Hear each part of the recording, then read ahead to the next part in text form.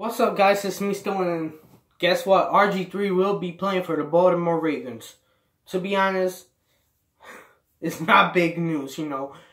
RG3's just washed up. Um, you know, he'll probably get he'll probably end up getting hurt again. You know, I might be wrong. Who knows? Maybe he becomes a starting quarterback, leads the Ravens to a Super Bowl, and wins it. You know, but let's be honest. RG3 will probably play in the NFL with the Ravens.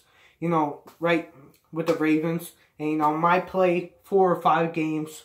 Maybe because Joe Flacco gets hurt, or, you know, maybe Joe Flacco has a bad game. You know, now that they have some receivers, who knows how Joe Flacco will play this year.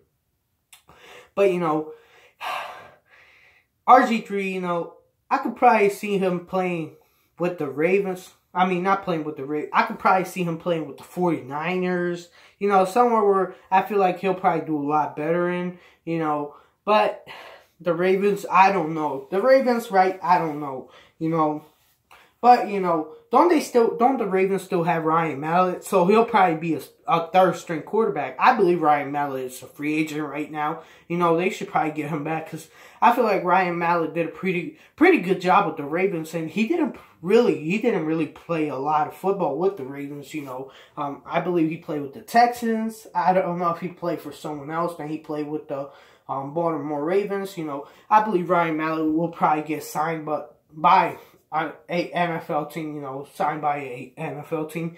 You know.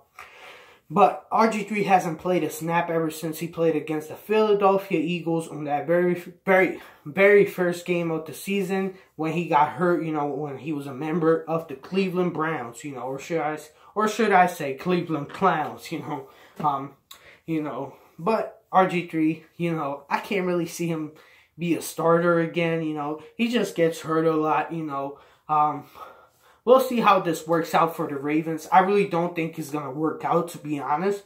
But, you know, um, hopefully, you know, he returns to his superstar form, you know, because, you know, a lot of people probably miss that RG3 that was once good, you know. Um, I kind of, to be honest, I'm not really a big RG3 fan, you know, but hopefully he comes back, you know, and becomes a superstar again. You know, we I hopefully that real RG3 comes back, you know, um you know, what could it have been if RG3 stayed healthy though? You ever think about that? Leave a comment. You ever think about what what would have happened if RG3 became a superstar? No one would have probably heard about Kirk Cousins.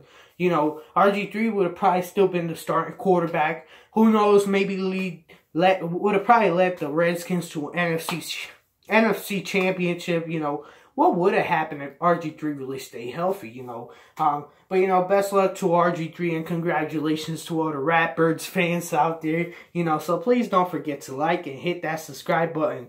Thank you guys for watching. It's me, Steelguin. See you on my next video.